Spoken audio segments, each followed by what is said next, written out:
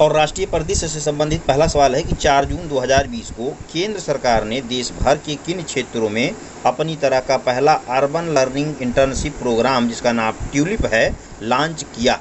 तो यहाँ पर विकल्प दे रखा है ग्रामीण क्षेत्रों में, स्थानीय शहरी निकायों में, विश्वविद्यालयों में या आईटीआई कॉलेजों में? तो इसका सही उत्तर होगा स्थानीय शहरी निकायों में।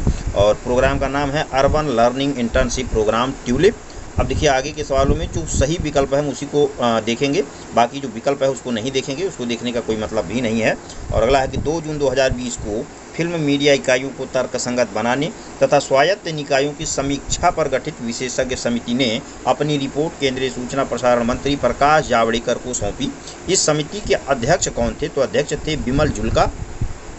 और बिमल जुल्का वर्तमान में मुख्य सूचना आयुक्त के पद पर आसीन हैं। तीन जून 2020 को केंद्रीय मंत्रिमंडल ने कृषि, उपज, व्यापार और वाणिज्य संवर्धन सुविधा अध्यादेश 2020 को मंजूरी दी।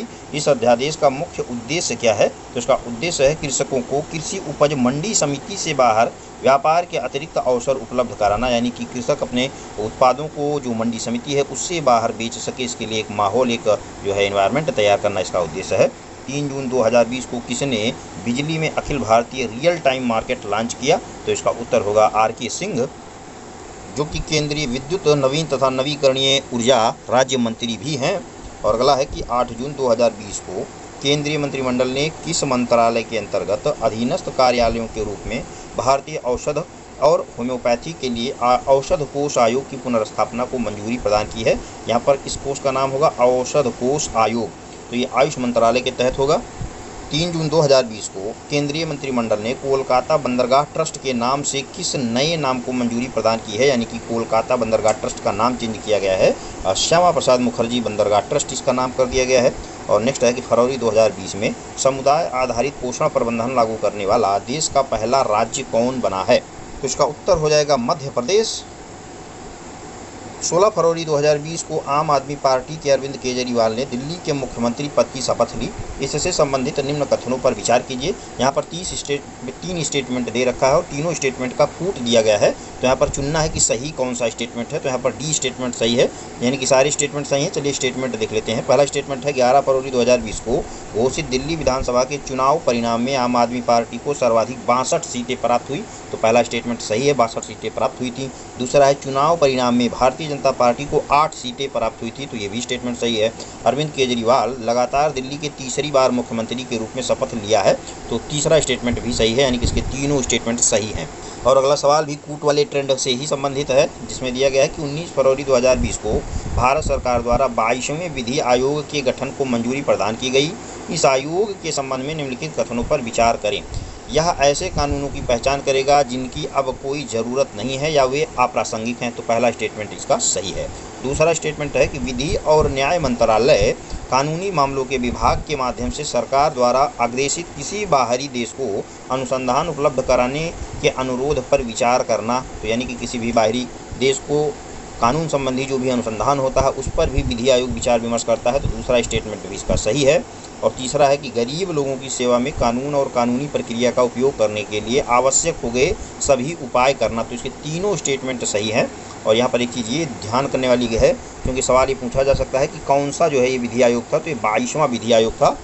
और निम्नलिखित कथनों पर विचार कीजिए। पहला दिया गया है कि 19 जनवरी 2020 को मंजूरी प्राप्त बाईसवां विधि आयोग सरकारी राजपत्र में गठन के आदेश के प्रकाशन की तिथि से तीन वर्ष की अवधि के लिए गठित किया जाएगा।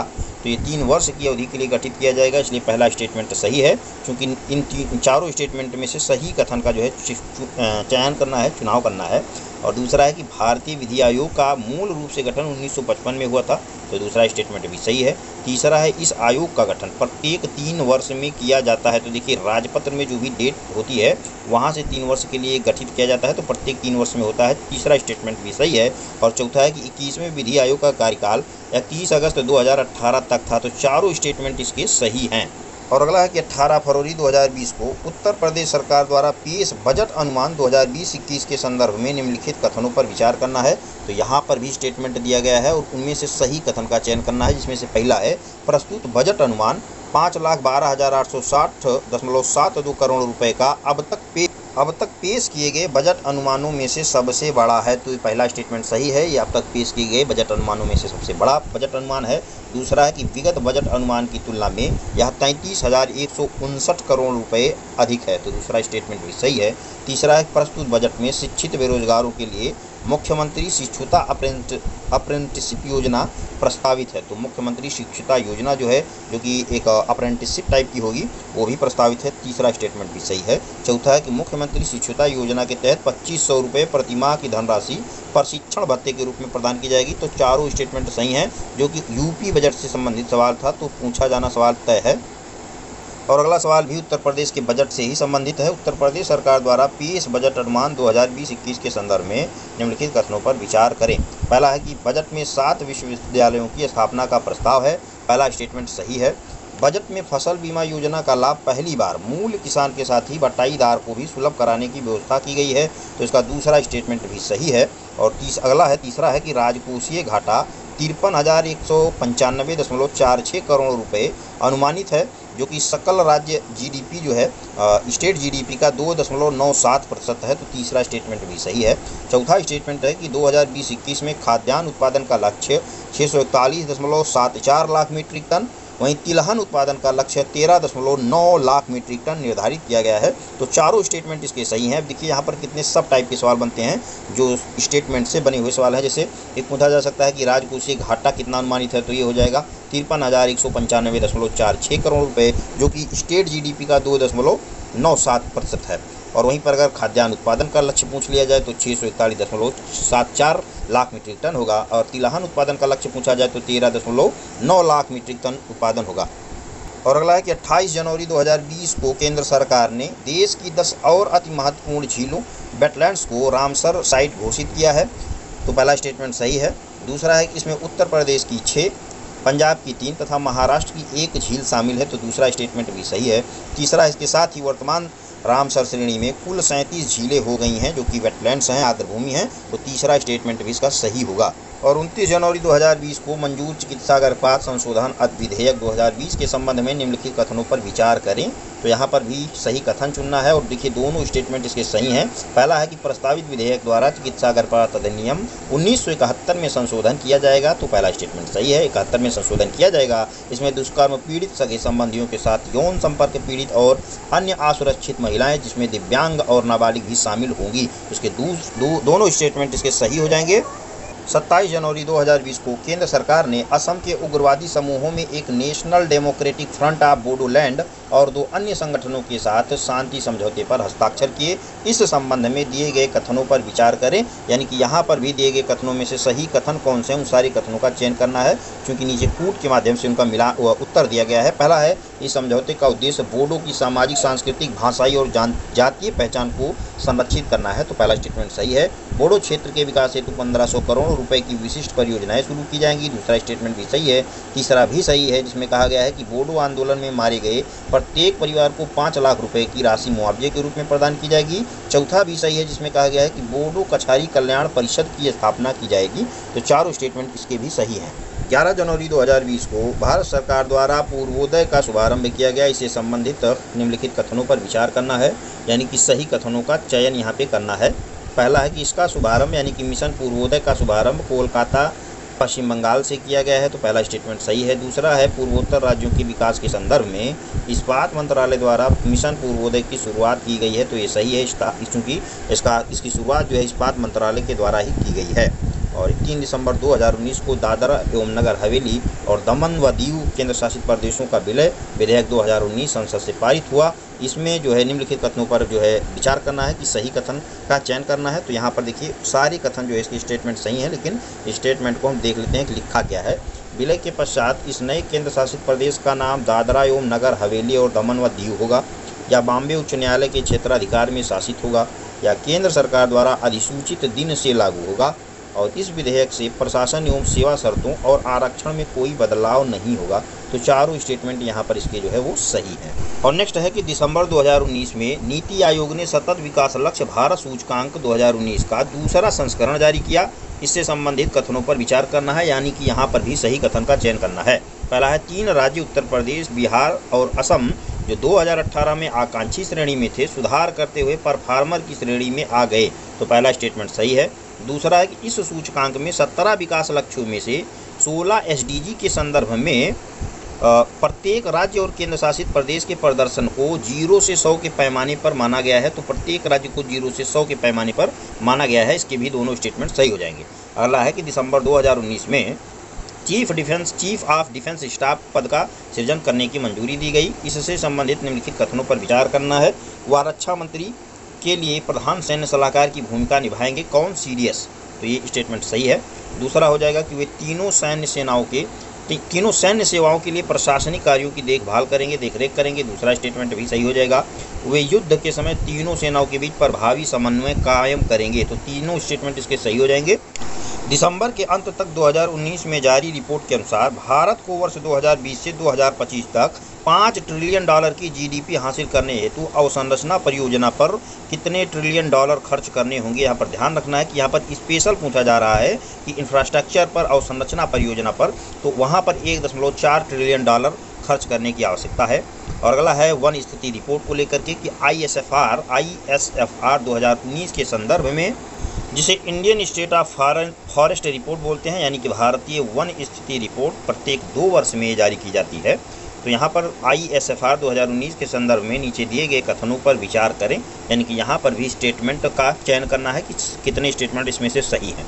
पहला है कि देश में कुल मैंग्रोव कवर 4,975 वर्ग किलोमीटर है जो देश के कुल भौगोलिक क्षेत्रफल का ज़ीरो दशमलव एक पाँच प्रतिशत है। तो पहला स्टेटमेंट सही है। देखिए, यहाँ पर कई सब सवाल बन सकते हैं, यहाँ पर मतलब उप सवाल बनते हैं। जैसे अगर मान लीजिए, यही पूछा जाए कि निम्नलिखित में से मैंग्रोव कवर जो कि चार हज़ार नौ सौ पचहत्तर वर्ग किलोमीटर है आई एस एफ़ आर दो हज़ार उन्नीस के अनुसार तो वो जो है, क्या कहते हैं कि टोटल लैंड इक्वेजिशन का एरिया का कितना है तो ज़ीरो दशमलव एक पाँच प्रतिशत उसका उत्तर हो जाएगा। दूसरा है, दूसरा स्टेटमेंट भी इसका सही है। देश के सर्वाधिक मैंग्रोव आच्छादित चार राज्य अथवा संघीय राज्य क्षेत्रों में है, जिसमें से पहला है पश्चिम बंगाल में जहाँ पर मैंग्रोव का कवरेज है चार बयालीस दशमलव चार पाँच प्रतिशत, दूसरा गुजरात में है, जो कि तेईस दशमलव छः छः प्रतिशत है, तीसरा यूटीज जो है अंडमान निकोबार द्वीप समूह में है, बारह दशमलव तीन नौ प्रतिशत, और चौथा है आंध्र प्रदेश में आठ दशमलव एक दो प्रतिशत। अब देखिए, इस सवाल को अगर अलग से सवाल बनाया जाए तो वहाँ पर अवरोही क्रम में या आरोही क्रम में पूछा जा सकता है। तो मैंग्रोव कवर में पहला पश्चिम बंगाल, यानी कि पी है पी फार पश्चिम बंगाल। दूसरा जो है गुजरात है, यानी कि जी है।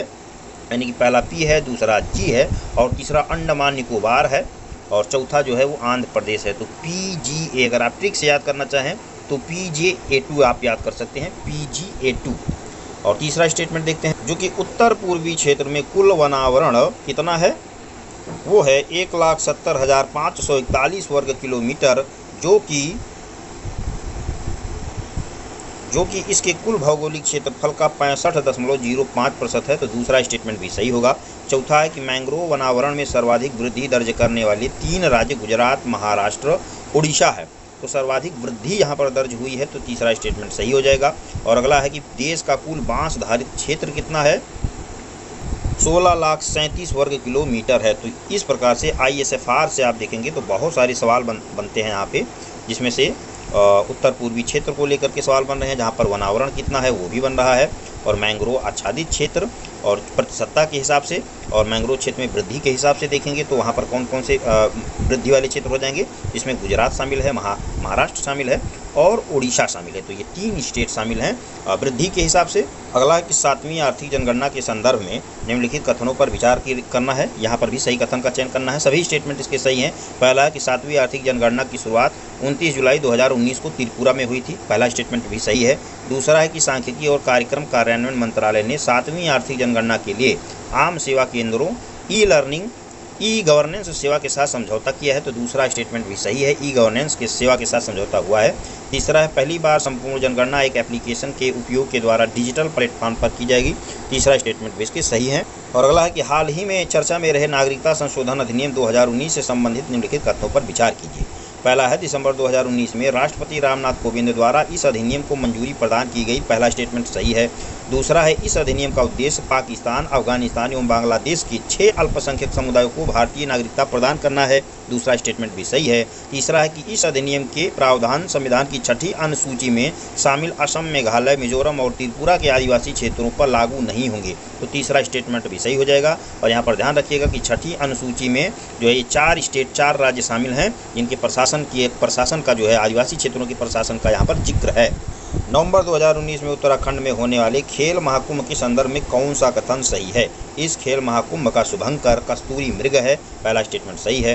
दूसरा है, इस खेल महाकुंभ में तैराकी, तीरंदाजी और तलवारबाजी को पहली बार शामिल किया गया है तो दूसरा स्टेटमेंट विश्वास सही है। अगला है कि नवंबर 2019 में स्विट्जरलैंड के प्रमुख बिज़नेस स्कूल आईएमडी द्वारा जारी विश्व प्रतिभा सूचकांक में भारत को कौन सा स्थान प्राप्त हुआ है? तो भारत को फिफ्टी स्थान प्राप्त हुआ है। उनसठवां स्थान प्राप्त हुआ है। एक बात और ध्यान रखना है कि ये सवाल पूछा जाता है कि विश्व प्रतिभा सूचकांक किसके द्वारा जारी किया जाता है? तो ये आईएमडी के द्वारा जारी किया जाता है। 16 नवंबर 2019 को किस स्वदेश निर्मित नाभिकीय सक्षम बैलिस्टिक मिसाइल का उड़ीसा के doctor A P J Abdul Kalam द्वीप, जिसका पहले नाम हुईलर द्वीप था, इससे सफल रात्रिकालीन परीक्षण किया गया है तो इसका उत्तर हो जाएगा अग्नि टू। नवंबर 2019 में भारत के पंजीयक, महापंजीयक कार्यालय द्वारा देश में मातृ मृत्यु दर से संबंधित report, special bulletin on maternal mortality in India 2015 से 2017 के अनुसार देश में मातृ मृत्यु दर अनुमानित नवंबर 2019 में भारत के महापंजीयक कार्यालय द्वारा देश में मातृ मृत्यु दर से संबंधित report, special bulletin on maternal mortality in India के अनुसार देश में मातृ मृत्यु दर अनुपात प्रति एक लाख जीवित जन पर कितनी रह गई है तो इसका उत्तर हो जाएगा एक सौ बाईस। और अगला है कि इक्कीस नवंबर 2019 को prosperity and inclusion city seal and award सूचकांक 2019 में स्विट्जरलैंड के ज्यूरिक को शीर्ष स्थान प्राप्त हुआ है। भारत को इसमें कौन सा जो है, भारत के कितने शहरों को इसमें शामिल किया गया किया गया है? यहाँ पर ये नहीं पूछा जा रहा है, भारत का स्थान कौन सा है? तो भारत के इसमें तीन शहरों को शामिल किया गया है। नवंबर 2019 में Institute for Economic and Peace द्वारा जारी वैश्विक आतंकवाद सूचकांक 2019 में आतंकवाद से प्रभावित देशों की सूची में भारत को कौन सा स्थान प्राप्त हुआ है? तो यहाँ पर भारत को सातवां स्थान प्राप्त हुआ है और वहीं पर पहले स्थान की बात करें तो पहले स्थान पर अफ़गानिस्तान है। अगला है कि 20 से 22 नवंबर 2019 के मध्य भारत आसियान इनोटेक समिट कहाँ संपन्न हुआ? तो भारत आसियान इनोटेक सम्मेलन जो है ये फिलीपींस के डेवाओ में संपन्न हुआ है। देखिए, डेवाओ एक ऐसा स्थान है जिसको मिलान करने के लिए पेपर में आ सकता है। अगला है कि 10 अक्टूबर 2019 को किसने माँ और नवजात शिशु के जीवन की सुरक्षा के लिए गुणवत्तापूर्ण स्वास्थ्य सेवाएँ निःशुल्क प्रदान करने हेतु सुरक्षित मातृत्व आश्वासन योजना, यानी कि सुमन सुमन का शुभारंभ किया है। तो इसका उत्तर हो जाएगा डॉक्टर हर्षवर्धन। 10 नवंबर 2019 को केंद्रीय पर्यावरण, वन और जलवायु परिवर्तन मंत्री मंत्रालय ने इंडियन ऑयल कारपोरेशन लिमिटेड को कहाँ पर नए 2G एथेनॉल संयंत्र स्थापित करने के लिए पर्यावरणीय संबंधी स्वीकृति प्रदान की है। तो ये हरियाणा के पानीपत में इसकी स्वीकृति प्रदान की गई है। 22 अक्टूबर 2019 को जारी महिला शांति और सुरक्षा सूचकांक में किस देश को शीर्ष स्थान प्राप्त हुआ है? तो शीर्ष स्थान प्राप्त हुआ है नार्वे को। एक नवंबर 2019 को मुख्य चुनाव आयुक्त सुनील अरोड़ा ने झारखंड विधानसभा चुनाव 2019 के कार्यक्रम की घोषणा की। चुनाव का परिणाम कब जारी किए गए? तो तेईस दिसंबर 2019 को इसका परिणाम जारी हुआ है।